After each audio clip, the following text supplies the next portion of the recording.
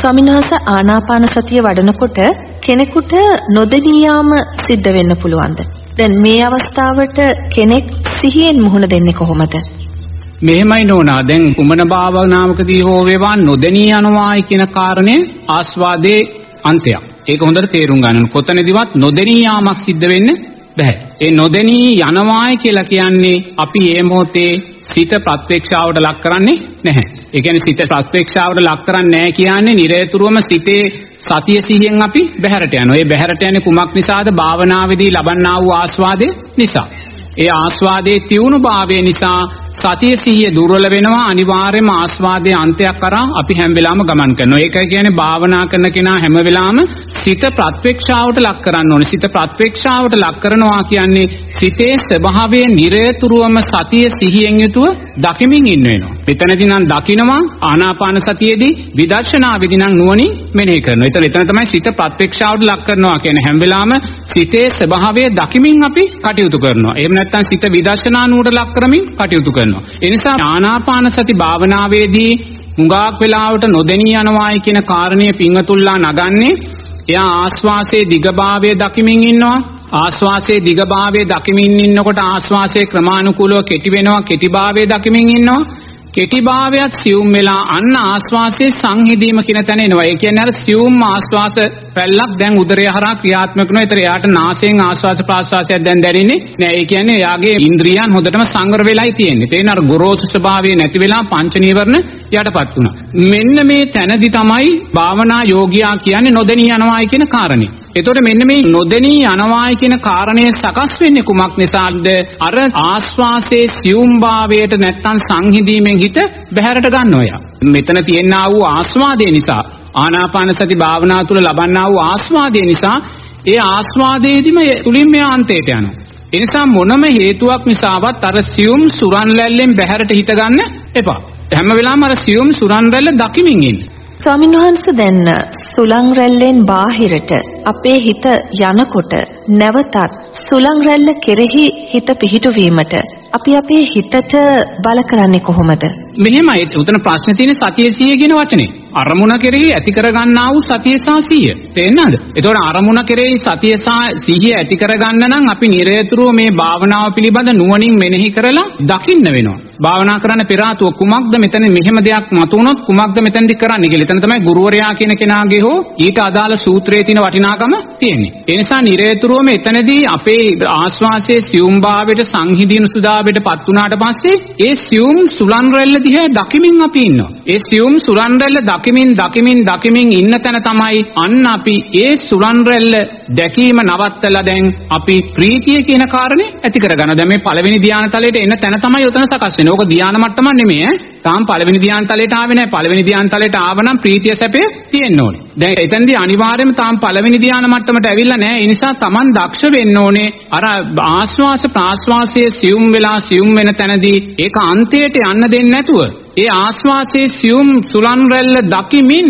ප්‍රීතිය කියන කාරණේ මතු කරගන්න. තේරෙනවද? එතකොට ඔබ ප්‍රීතිය අමුතුවෙන් මතු කරගන්න අවශ්‍යතාවයක් නැහැ. අනිවාර්යයෙන්ම මේ ගොරෝසු ස්වභාවයේ සියුම් වෙලා සියුම් වෙලා ආස්වාසයේ සියුම් භාවයට පත් වෙනකොටම නෝනා අනිවාර්යයෙන්ම මේ කය තුලින්ම ප්‍රීතිය මතුවෙලා එනවා. ඒක ස්වභාවික දෙයක්. තේරෙනවද? කය තුලින් ප්‍රීතිය මතුවෙලා එනවා. එතනදී ඔබට කය අරමුණු වෙන්නේ නැහැ. මේ රූපය අරමුණු වෙන්නේ නැහැ. රූපය හැටියට ඔබට අරමුණු වෙන්නේ ප්‍රීතියයි කියලා මං එදා මතක් කළා. මොකද එතන ප්‍රීතිය බවට පත් වෙන්නේ ආස්වාසයමයි. එතනදි තමයි අපි අන්න අර සියුම් ආස්වාසයට තියෙන හිත දැකීම අයින් කරලා ප්‍රීතිය කියන කාරණේට හිත ගන්න. තේරෙනවද? දැන් ඔතනදී නොදැනී යනවා කියන්නේ මොකද්ද? එයා අර සියුම් ආස්වාස ප්‍රාස්වාස රැල්ල අරමුණු වෙනකොට ඒ ආස්වාදය තුලින් මෙයා අන්තයට යනවා. භාවනාව ඉස්සරහට අරන් යන්නේ නැහැ. ඒ නිසා එතනදී ආස්වාදයේ අන්තයට යන්න එපා. අර සියුම් සුරන්ලල්ල දකිමින් දකිමින් ඉන්නකොට ප්‍රීතිය ඔබ තුල සකස් වුණේ නැත්තම් ඔබ ප්‍රීතිය ඇති කරගන්න දක්ෂ වෙන්න ඕනේ. තේරෙනවද? උදේ ඔබ ප්‍රීතිය ඇති කරගන්නවා කියන්නේ ඒ මොහොතේ තියෙනා වූ අර සප්ත බොජ්ජංග වැඩෙන පංච නීවරණ යටපත් වුණා වූ දැක්ම තුලින් ඔබ ප්‍රීතිය මනසින් ඇති කරගන්න. දැන් ඔබට පුළුවන් ශරීරයේ ප්‍රීතිමත් භාවයට පත් වෙන්න. දැන් ආනාපාන සතිය වඩන්න නැති කෙනෙක්. එයා හිතනවා මට මේ භාවනාව කරන්න බෑ මේක ගැඹුරුයි ඒ වගේ අර හිතට යට වෙලා හිත මායя හැටියට දකින්න නැතුව එයා භාවනාව වලින් ඈත් වෙලා ඉන්නවා. නමුත් එයාට නෝනා අපි කියමු රාත්‍රියේ නිින්දට යනවා කියලා. නිින්දට ගිහිල්ලා එයා කොට්ටෙට ඔළුව තියාගෙන මොහොතක් දකින්න ප්‍රීති ප්‍රීති ප්‍රීති ප්‍රීති කියමින් ප්‍රීතියම ප්‍රීතියම ප්‍රීතියම ප්‍රීතියම වඩන්න එතකොට මේ ශරීරය ප්‍රීතිමත් භාවයට පත් වෙනවා නෝනා. ඒක මේ ආනාපාන සති ධානයට අදාළ දෙයක් නෙමෙයි. නමුත් එතෙන්ට යන්න බය කෙනෙක්, එතෙන්ට යන්න සැක කෙනෙක්, එතෙන්ට යන්න අමාරුයි කියන කෙනෙකුට මේ ආනාපාන සතිය තුළ සකස් වෙන්නා වූ ප්‍රීතිය පිළිබඳ යම් චිත්‍රයක් ඇති කරගන්න පුළුවන්. ඒ කියන්නේ රාත්‍රියේ නිින්දට ගිහිල්ලා කොට්ටෙට ඔළුව තියාගත්තට පස්සේ ඔබ අනිත් අරමුණු සියල්ලෙන් බැහැර වෙලා ආස්වාස ප්‍රාස්වාස වලට හිත යොමු කරන්න එපා. මේක ආනාපාන සතියට අදාළ දෙයක් නෙමෙයි. නමුත් මෙතෙන්දි ඡන්දය ඇති කරගන්න ආනාපාන සතිය කෙරේ ඡන්දය ඇති කරගන්න ආනාපාන සතිය භාවනාවේ ධානා මට්ටම් කෙරේ ඡන්දය කැමැත්ත ඇති කරගන්න ඔබ රාත්‍රියට නිින්දට ගිහිල්ලා කොට්ටෙට ඔළුව තියාගෙන ප්‍රීති ප්‍රීති ප්‍රීති ප්‍රීති කිය කිය ප්‍රීතියම වඩමින් වඩමින් වඩමින් මේ ශරීරය ප්‍රීතියෙන් කුල්මත් කරගන්න ඔබට පුළුවන් ඒක කරගන්න. තේන්න? එතකොට ඔබට දකින්න පුළුවන් මේ මොහොතේ මේ සමාධිගත තත්වයකට යන්නේ නැතුව මම මේ නිදීරියව්වෙන් ඉඳන් මගේ ශරීරය මේසා ප්‍රීතියකට පත් කරගන්න පුළුවන් නම් ප්‍රීතියේ ආස්වාදයට යටත් කරගන්න පුළුවන් නම් ආනාපාන සති භාවනාව තුළින් කොයිසානම් මේ ප්‍රීතිය කියන කාරණේ මතු කරගන්න පුළුවන්ද කියන කාරණේ. එතෙන්දී අර ආස්වාසේ සියුම්භාවයේ සකස් වුණාට පස්සේ තමා තුළ ප්‍රීතිය සකස් වෙන්නේ නැත්නම් නෝනා Tamanට තියෙන ප්‍රීතිය අර විදිහට මතු කරලා ගන්න. මෙනෙහි කිරීමක් නෙමෙයි. දකිමින් මතු කරලා ගන්න ඕන නෝනා. මෙනෙහි කරන්න ගියොත් ආයිමත් ਵਿਚාර විතරක බරපතල වෙනවා. තේරෙනවද? Taman දකිනවා ප්‍රීතිය දකිමින් දකිමින් දකිමින් හිතන්නේ නැතුව දකිමින් දකිමින් ශාරීරිය ප්‍රීතිමත් කරගන්න. ඒතොර ඒ ප්‍රීතිමත් කරගනිද්දි දැන් ආස්වාසේ සියුම්භාවයේ දිහා අපි දකින්නේ නැහැ. තේරෙනවද? සියුම්භාවයේ දැක දැක ප්‍රීතිය ඇති කරගන්න බෑ. එතකොට මේ විතර්ක සකස් වෙනවා. හොඳේ? සමාධිය දුර්වල වෙනවා. ආස්වාසේ සියුම්භාවය ගැන නොහිතා දැන් අන්න දැන් තමන් මනසින් ප්‍රීතිය ඇති කරගන්න. එතෙන්ට මේ තැනට ආවාට පස්සේ නෝන ඔක උතන ප්‍රශ්නයක් මතුවෙන්නේ නැහැ. මොකද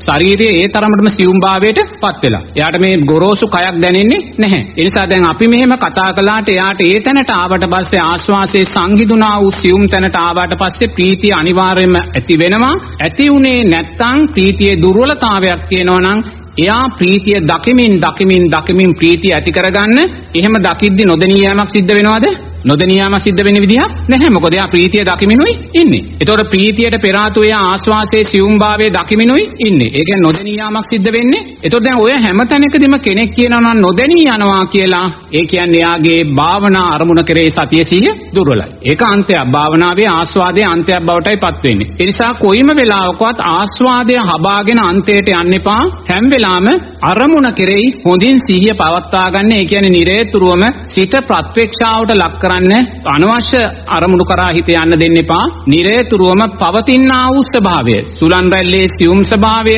ප්‍රීතිමත් ස්වභාවය, සැපය මේ සෑම දෙයක් දෙසම දකිමින් ඉස්සරහට යද්දී නෝනා නොදෙනී යනවා කියන කාරණය භාවනාවකට කොතනදිවත් අදාළ වෙන්නේ නැහැ.